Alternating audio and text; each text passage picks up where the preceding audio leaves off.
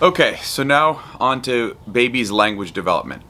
One of the unique features of humans is our use of language. When we study language, we see that no other animal uses anything close to human language. I'll give you an example. The best ape we ever got to do sign language, or, or, or they actually use a sort of this machine that's got buttons on it that represent symbols that represent something in the environment. So it's, a, it's an approximation of language. The best ape we ever got was this uh, bonobo called um, Kanzi. Banana. Very nice. Banana. Banana. Can you find peanuts? Peanut. Thank you. Will you find eggs? Sherman. Egg. Good. Can you find milk? Milk? Milk. Good. How about apple? Apple. Very good. How about Sue? Sue. Very good. Can you find peanuts? Peanut. Very nice. Peanut. How about eggs? Egg. Egg. Great, Kanzi. How about chow? You had any chow in a while? See had chow lately? Chow. You might have to have some Chow. Yeah, you think so? I could give you a piece of Chow. That would be good, wouldn't it? How about, let's see, tomato? Tomato. Tomato. Good, Let's go on keyboard two. There. Can you find onions? Onion. Good. Potato, Potato. blueberries. Blueberry. How about good? Good. Good. That's right. Just go ahead and hit it. Good. Very good. Good. Sure, good boy. How about, let's see, strawberries. Can you find strawberries? Strawberries. Very nice. Bunny. Can you find bunny? Bunny. Good. How about water? Can you find water?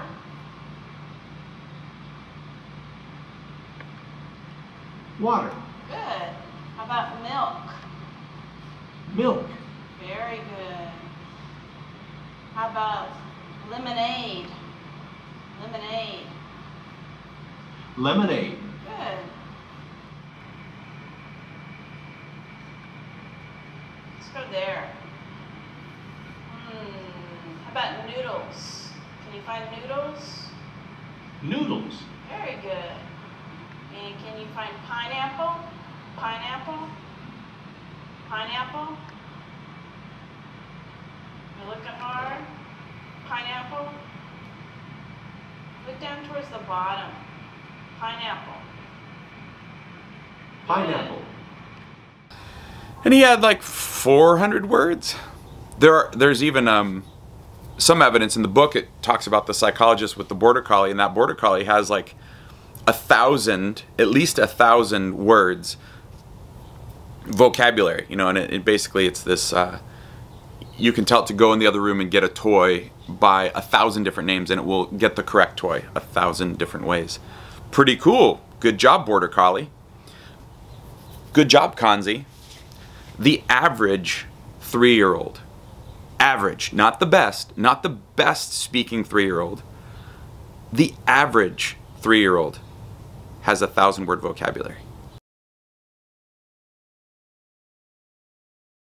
I'm going to show you each of these logos one by one, and you'll tell us what they are, okay? Yeah. All right. A Volkswagen. Welcome. Lincoln.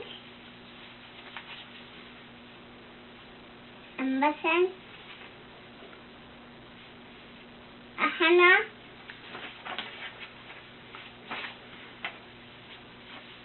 A fan.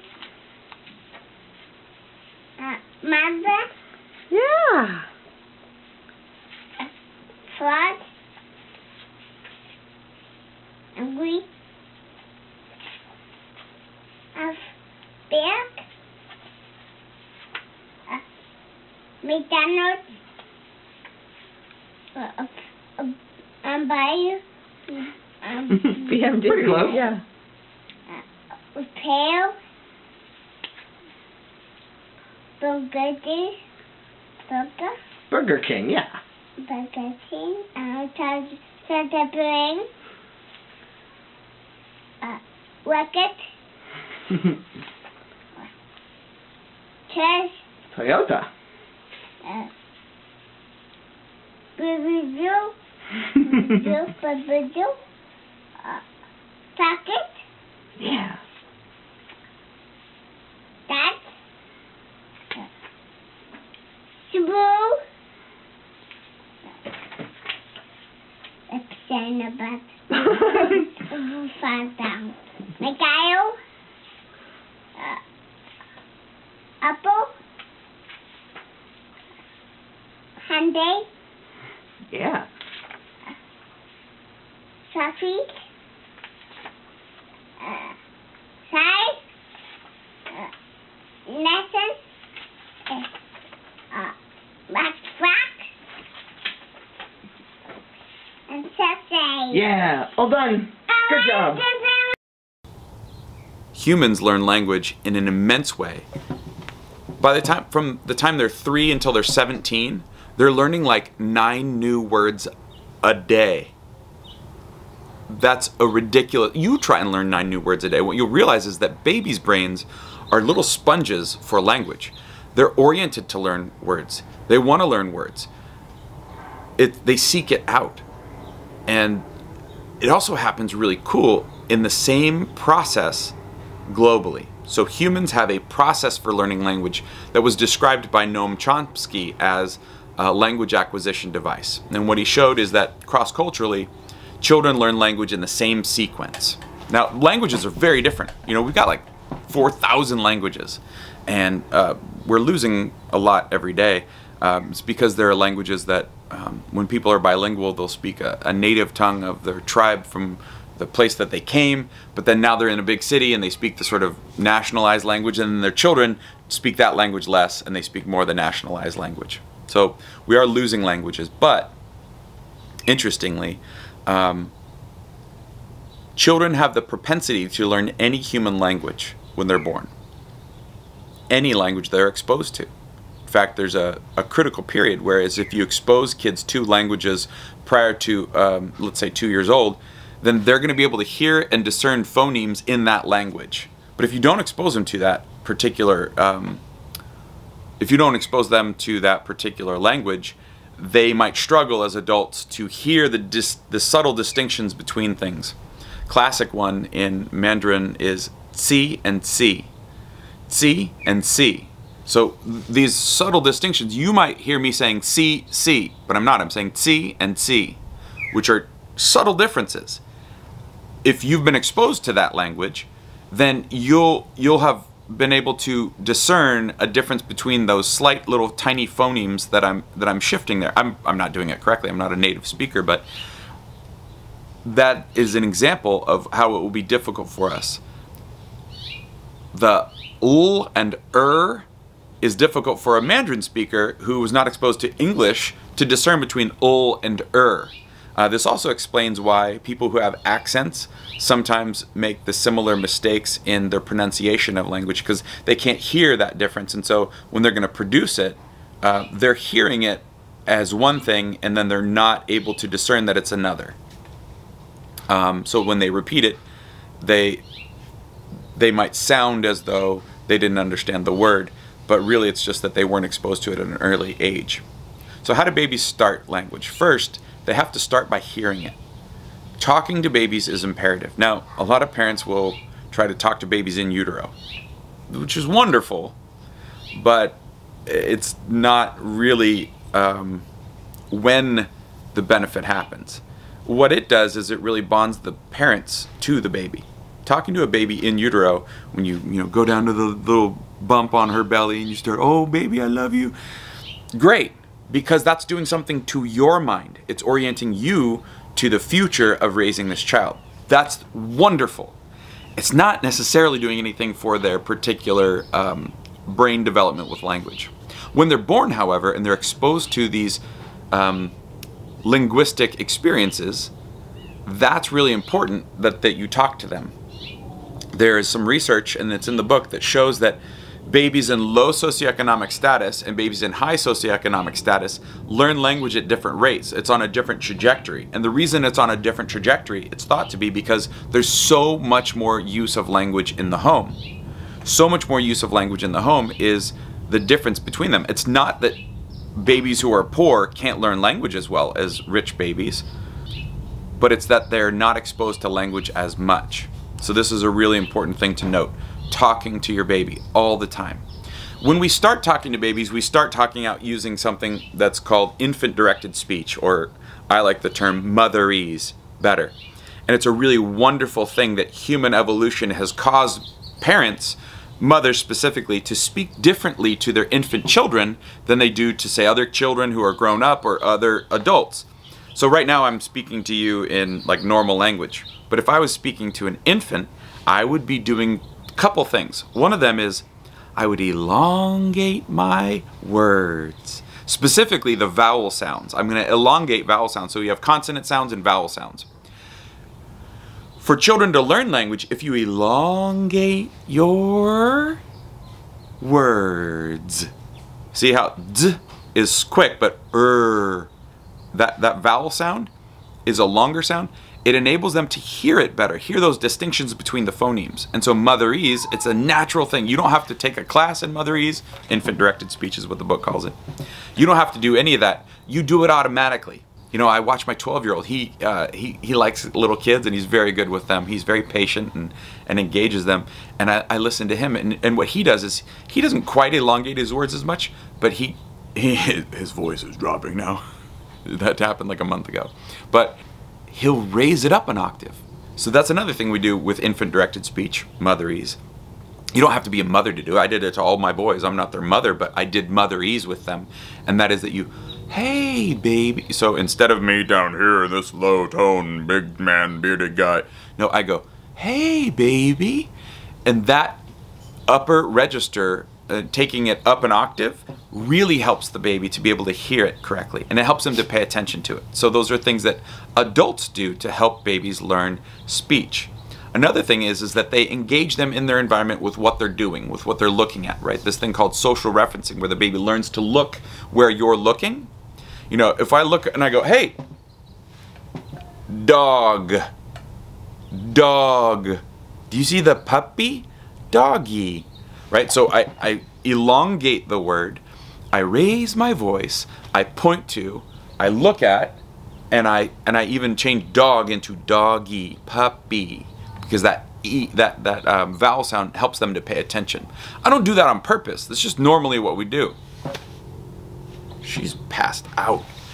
Um, so that's something that adults do to help kids. Now, what do kids do? What did Noam Chomsky say? Kids do universally in all languages. Remember, all these different languages, but they all learn language the same way. They start out with the vowel sounds of the language. Uh, different languages have different vowel sounds. Um, and those will, those will be important in a second when I tell you about the one group of people that don't use child-directed speech. Um, for example, uh, you know, some languages have more letters in their alphabet.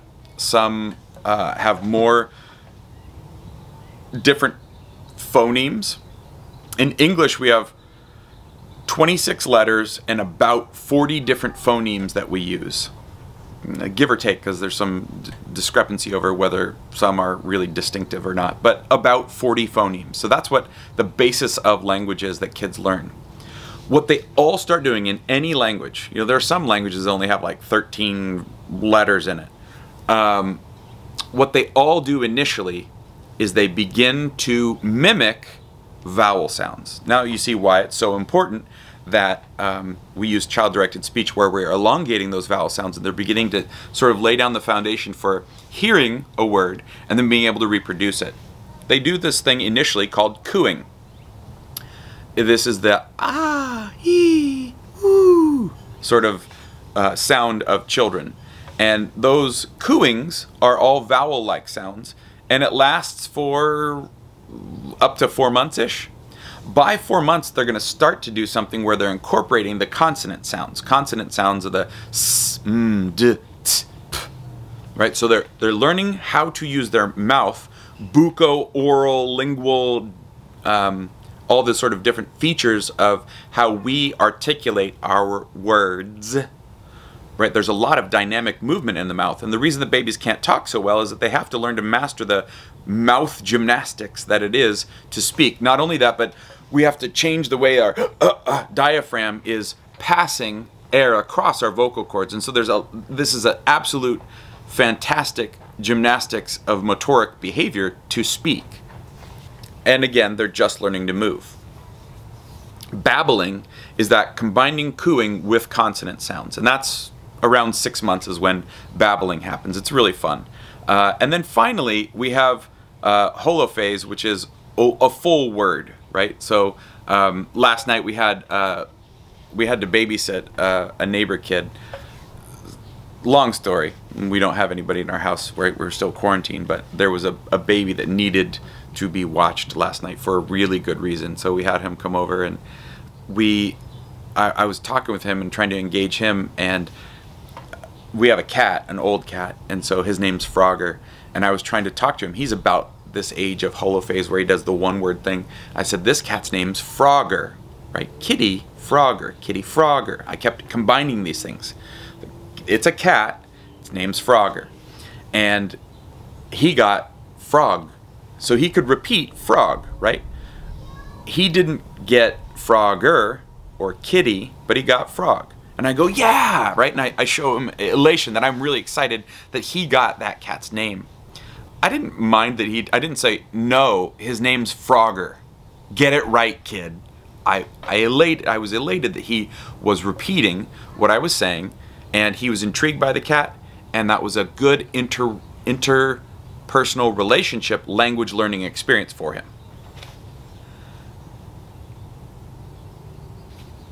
as he develops, he's going to begin to combine those single words from holophrase, which happens 12 months to a year and a half ish, which that's like his age.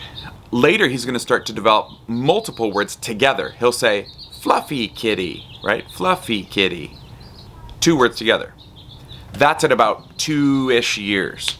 Another story about my dad, uh, and this is a, an important one when he was the last born of uh, his siblings, and he was uh, his parents were farmers, and they were out in the fields working, and his mom did sort of the the books and did the office work and did all that um, traditional um, administrative work, and so they had a nanny that raised him, but his mom kind of figured like he was different from the other kids that she had had you know, they were all much older than him. He was like a, a big distance younger. And so she took him to the pediatrician is like, you know, he's two and he's not talking. There's something wrong with him. Doc, is this kid retarded, right? So that's the use of the term was appropriate at the time. But she was concerned that he wasn't developing because he wasn't speaking. She wasn't hearing him speak, and she knew that the other kids, my two uncles and aunt, were all, when they were growing up, they were speaking at that age, and, and he wasn't. So doctor examines him and says, uh, Mrs. Frazee, um, your child speaks wonderful Spanish. Do you have any help raising him? His nanny was a Mexican woman named Maria, and she spoke to him all the time. So he was developing Spanish perfectly fine, but because his parents were gone, he's being raised by a nanny, he's being exposed to Spanish. Uh, to this day, he's fluent in Spanish, and that's a a particularly wonderful thing. Not that his mother was so neglectful he didn't speak English yet, but that brings me to bilingualism. Bilingualism is a wonderful thing, but it does change developmental trajectory for children, specifically in schools. It takes longer to learn multiple languages. And so what we see is that kids that are learning multiple languages as they're younger end up falling behind in some of the schooling that they uh, attend. But there's great news. By the time they're about my oldest kid's age, 12, they catch up academically to their peers and they're bilingual. So that's a good thing to do. Uh, and bilingualism is a huge benefit to people. It helps them to think more deeply. There are words in certain languages that we don't have in in our language, in English, so they can express themselves in, in even greater ways. And code switching, which is the switch between uh, one language and the other, is, is a higher form. It's a, it shows more activity in the brain's language areas. Uh, so it's good to be bilingual. Also, early exposure is very important. Let's talk about critical periods. So there's some sad news, and that is the book talks about one of these examples of children who are called feral children. You know, like a, we have a feral cat just showed up one day in our backyard, and you know we feed him in the garage now sometimes, and he kills rats around here and leaves us presents. But he's not like our normal cat. He doesn't want to be touched so much. He's not social. You know, he's he's a lone lone wolf, a lone lion. There are feral children, and those are children who don't have the type of exposure and touch and interaction and love and connectedness and experiences that children need to, to develop normally. And Genie was one of them. Unfortunately, she was from here, our home state of California, um, and they found her, um, officials found her when she was 13 years old. She'd basically been tied to a bed or left in a closet with like a little one of those little kids potties and she'd been beaten severely if she ever made noise. Uh, this poor girl 13 when they found her couldn't speak. She became a ward of the state when they took her parents away and obviously imprisoned them. But the damage that they did by neglect basically made her incapable of learning to speak. She didn't have the requisite brain capability to learn language because she wasn't exposed to it. Again the more words you get, the better for the kids. So bilingualism, bilingualism is great, uh, and you, you should definitely teach your kids to speak multiple languages.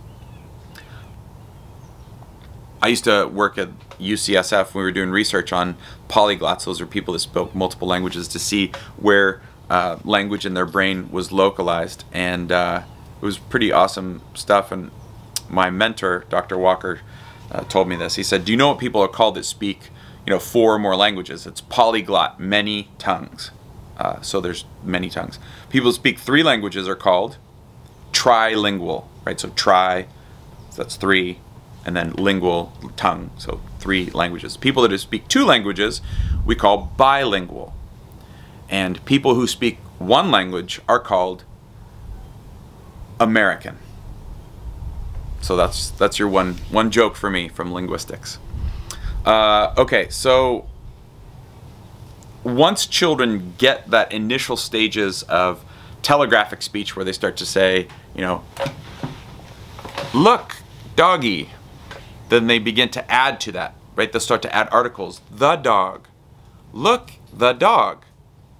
That is my dog, right? These these sort of simple sentences, like the ones in the little books that taught you to read that's how people learn to speak and then they, they build up to multiple uh, sentences. You know by the time they're four years old they're talking their minds out just constant stream of consciousness talking.